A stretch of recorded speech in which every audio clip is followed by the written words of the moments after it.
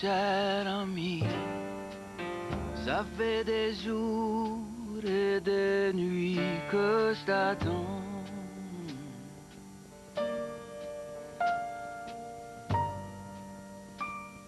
Et les nuits sont longues. Ici, c'est pitié de voir l'aigle aux grandes ailes d'ivoire qui tourne. The only thing I knew about the, the series of paintings was that they were going to be emotional. Uh, a lot of my work over the years, I have tried to involve an intellectual side and an emotional side, sometimes tipping to one or the other. Uh, this, I felt there was, there's nothing intellectual about this. This is entirely emotional. This is how I feel about what happened. I'm only trying to express what I feel about what happened and trying to paint what I saw and what, what I felt was going on in the, in the, to these poor people who were suffering. Les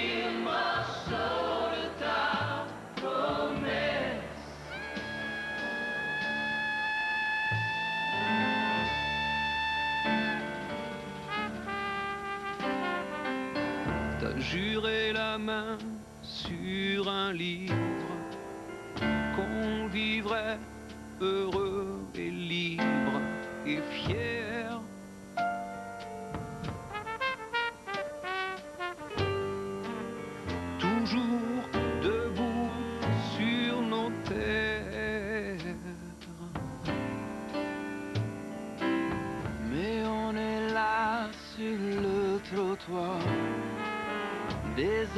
Âmes blanches, des âmes noires qui espèrent.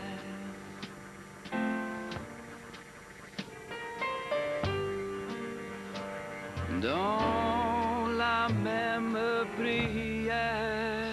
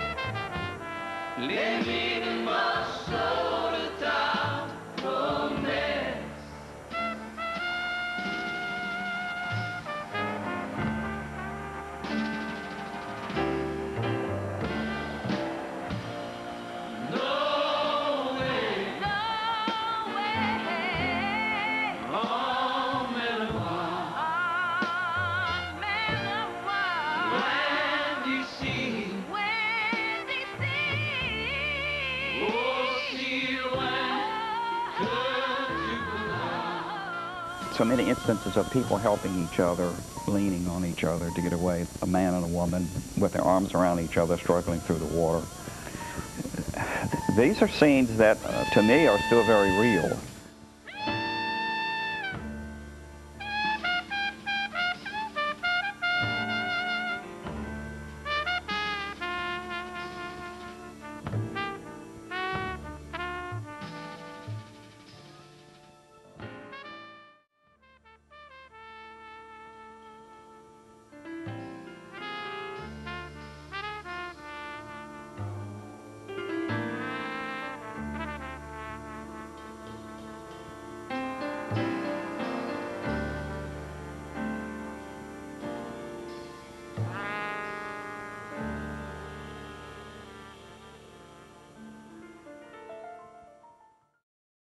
Prior to leaving it for New York, I had begun, and prior to the storm, I had begun a painting with the statue of the Virgin Mary in it, and it was in a, a small cemetery in northern Mississippi.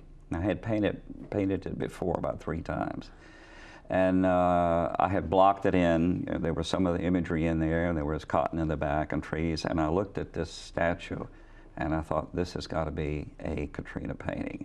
That brought me out of out of retirement and plunged me into doing this series of works on this. Once I got into it, I got so excited. And normally I prepare my paintings quite a bit. I do value drawings, I do color studies before I actually get involved in, in the large piece itself. This, this work, I just went right into it. I began painting it. I, I didn't have any reference material for the, for the tombs or anything else. I know them. I mean, I spent my life in, mostly in New Orleans. So I knew what to do, and I, I got so inspired by doing it, I knew I had to go forth and, and do more. Desperation, which to me is one of the strongest pieces uh, personally in the painting. And this lady uh, was actually encountered by my wife and my daughter who came into New Orleans before I was able to get there uh, because Lucille had a gallery and has a business. And she uh, lived across the street from a friend of ours, and uh, Stella and Lucille had gone to check on the, their friend's house. And uh, they stopped and they chatted with her. And uh, I, from the images that they took on TV, I, I got her. And I wanted to try to get across what it must have felt like to be old, uh, hungry, starving, without anything else, and and you'd be pretty desperate, I think. Home. For Thanksgiving is another one that was very uh, emotional to me. They were all emotional, but this one was particularly so. And, and, the intent in it was to try to capture some people, a man and his mother, in this instance, who had come home from wherever they had been and seen the, and saw their house for the first time, and what it must have felt like uh, for so many thousands and thousands of people who experienced that same thing. Death by Drowning is the only oil painting that's in here, and it was one of the last ones, again, that was done. Uh, I had visions of doing a night scene or an evening scene for a long time, and, uh, I, and I had this, uh, as I was working up the painting, this just came to me of putting this balustrade in the foreground, which is so typical of early New Orleans architecture. And it's the only painting that actually has a body in it. Uh, I didn't put bodies in otherwise. I didn't think that was necessary. But again, it's the, the, the, the, beautiful sunset and what is going on on the ground are quite different from each other. Escape from Eden is uh, somewhat of the same uh, thrust on that, uh, but with the addition of uh, people helping each other, which I thought was the only really uplifting thing that came out of the whole storm, was how people helped each other push came to shove, that that is in the Ninth Ward. And there, there are a lot of paintings that are from the Ninth Ward, but it had extremely dramatic imagery. So, For me, this is one of the, the strongest on an emotional side. Thank you, thank you. Uh, and uh, the car actually was there, we did have the door open, the, the buildings. I say that because I moved things around and put different things together because I had to exaggerate these scenes. But I did make the hands more clear. I did add the, the, uh, the image of the face that you can see in the mirror there. Uh, again, this is uh, sort of on the theme of Home for Thanksgiving. Uh, this lady returns uh, from wherever she's been and she sees the destruction and, uh, and, devastation that's in her area of the world that she knew. And I, I was out there early, fairly early on, and there was always an overhanging odor. And so she's just got the handkerchief to her face. And I try to capture the emotion entirely in her eyes in this painting because you can't see her mouth.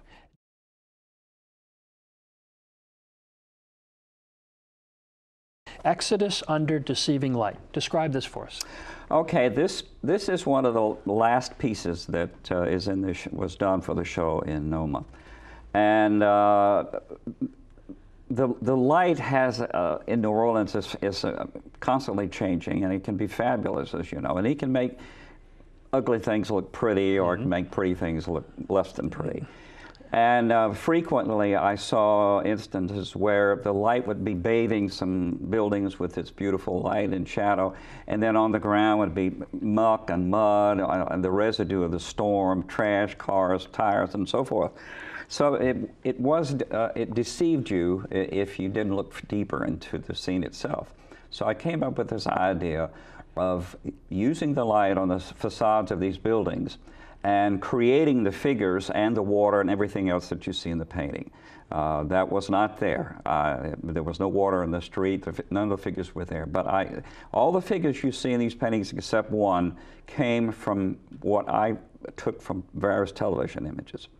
Because I wasn't there. I was in Jackson. I couldn't have Right. been there. But I, I felt I couldn't do these, this show without putting people in it.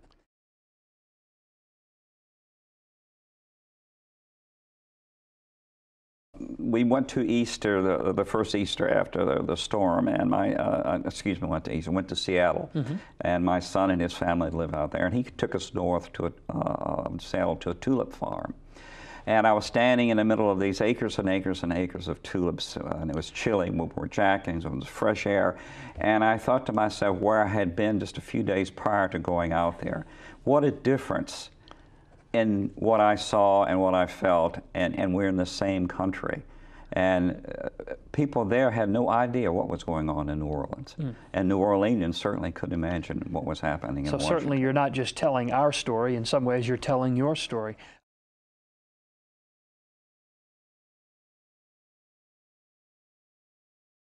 Family reunions was, I think, the last piece for, that I did for the show, and it was a, an attempt to capture the emotion that people felt when they had not, when they were lost from each other, and they they found each other again. That's what that was about. How does this work compare to the early Rolland Golden work? Again, a 50 year career. Uh, how does it compare, and what do you think of the quality of it? Well, I think it, as a group of work, it is the best body of work I've put together along on a sim- single theme. I do think I've done some other very good work, to speak, you know, bluntly. Uh, I did a series on the demolition by neglect, which was about destroying the CBD, the old buildings, and about tying uh, the Civil War in with other wars. Um, and when my early career, when I finally evolved into the style that we know that I have today, I was very emotionally involved in New Orleans, but eventually gradually moved away and began doing other things. This has brought me back to painting New Orleans again with tremendous emotion. And as I said in the, the catalog for the show, it's a shame it took such a terrible disaster to cause me to do that. We can only all hope that we do our best work towards the end of our careers, and we certainly hope that you will continue to paint as you just pointed out. Thanks so Thank you much, so very much. Thank you for A real having me. pleasure Appreciate it. meeting you, and we are honored to have you. Thank you so much. Rolland Golden.